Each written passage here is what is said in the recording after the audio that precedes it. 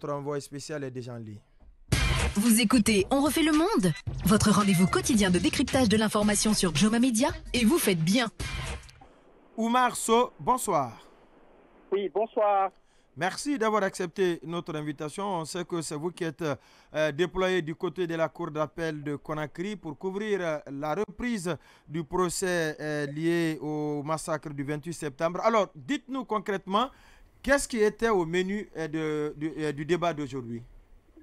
Oh, Effectivement, comme vous le rappeliez, il faut dire que cinq jours après le renvoi de l'affaire, le procès des événements du 28 septembre 2009 a bel et bien repris ce mardi au tribunal ad hoc de victimes, délocalisé du côté du site qui abrite la cour d'appel de Conakry.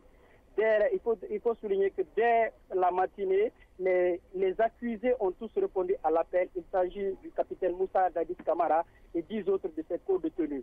Le Moussa Chebouro Kamara a été le premier à être appelé à la barre. Aussitôt, il a été rappeler les chefs d'accusation qui sont retenus lui. Parmi ces chefs d'accusation, on peut noter le cas de meurtre, d'assassinat, de viol, d'incendie volontaire, de vol à main armée, de coups de et outrage et non-assistance aux personnes en danger. Ensuite, euh, la parole a été donnée à tour de rôle aux différents avocats de la défense. La plupart d'entre eux Bon, j'allais dire, la plupart d'entre eux, à travers des exceptions soulevées, ont dénoncé la procédure et soutiennent, et soutiennent avec des arguments plusieurs violations des textes concernant notamment la délocalisation du procès, mais également les poursuites formulées à l'endroit de leurs clients. Face à ces propos, le Conseil de la défense a repliqué. Bon, j'allais dire que face à ces propos des conseils de la, défense, la réplique du parquet est celle de la partie civile constituée par les 700 et quelques victimes ainsi que la FIDH et l'OGDH ne s'est pas fait attendre. Ils ont tout simplement demandé au président de la Cour de, déclarer irréfutables les requêtes formulées par le pool d'avocats de la défense. Bon, pour euh, ça, c'était il s'agissait de faire le point sur euh, le contenu des débats. Mais également, il faut dire que cette deuxième journée a été marquée par la présence dans la salle d'audience notamment du leader politique Baouri, depuis le matin, il suit, il suit euh, les débats. Il est parmi les, personnes qui ont, pris, qui ont voulu assister au débat.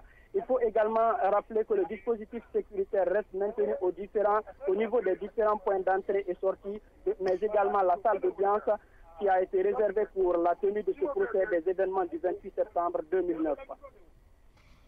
Et, là, est-ce que la journée a pris fin ou bien les débats se poursuivent? Euh, les débats, euh, pour le moment, il y a une pause qui a été observée. Imaginez-vous, le, euh, procès a commencé depuis 9 heures et jusque-là, la pause n'avait pas été observée. La pause a été observée il y a de cela 45 minutes. On attend encore la, la reprise pour les débats, pour poursuivre les débats.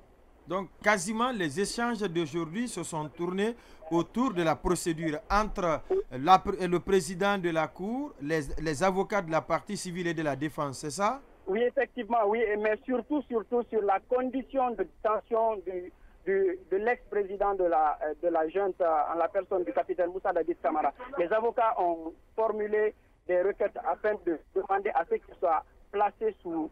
Euh, résidence, surveillée. En résidence surveillée des, requêtes qui ont été rejetées par la partie civile qui estime que, euh, euh, que les accusés sont tous égaux, qu'on ne doit pas faire la différence entre les accusés, qui sont tous des accusés, que donc on ne peut pas les privilégier par rapport aux autres. Mais, mais, le, mais le président n'a pas tranché encore le débat entre les parties. Le président n'a pas tranché, nous sommes en pause, on attend la reprise des débats pour voir quelle sera la suite de la procédure.